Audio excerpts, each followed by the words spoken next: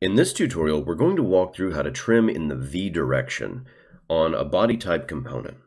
Now, if we jump to a front view and zoom in a little bit, we'll more easily see the behavior that's going to happen here. Now, note that we have access to a V1 and V2 trimming option, and that means that we can do this twice. So if we turn on Trim V1, notice how you have a starting position at 75% around the surface of this model, and it goes up to this position that we've set here at round about, say, 90%.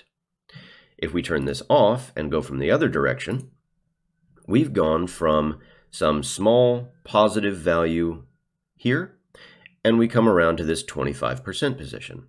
So notice that we can move this, and it's going around the surface of this geometry. And again, what it's doing is it's beginning the trimming at this first value and stopping the trimming at this second value. But unlike in the U direction, you can absolutely switch these. So if you go past, it's going to start trimming here at the 25% position, and it's going to trim around from the other direction and come here. So these can absolutely flip, and the behavior will be slightly different depending on whether you're greater than or less than in this case.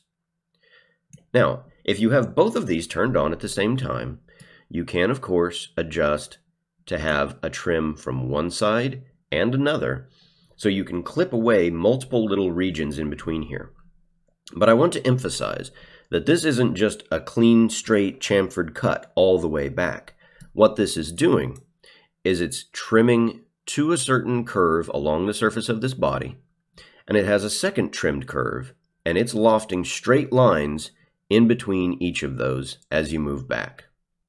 So it's going to try its best to maintain a constant directional line between this point and this point all along these curves. So if we get a little bit of perspective here, notice that this length here is different than this length is different than this length. And that behavior follows the same pattern regardless of whether it's a wing type conformal geometry or a body type geometry.